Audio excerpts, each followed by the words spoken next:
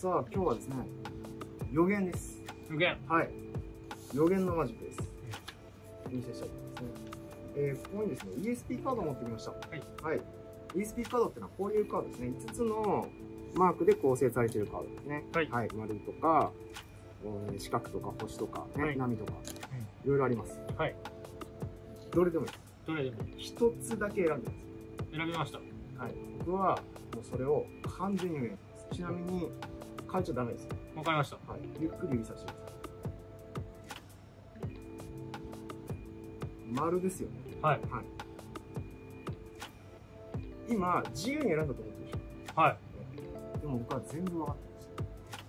実は、こちらのね、ちょっと封筒、この中に1枚だけ、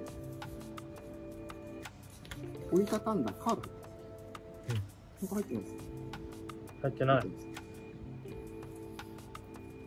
このカードが、おー。なんで？分かってました。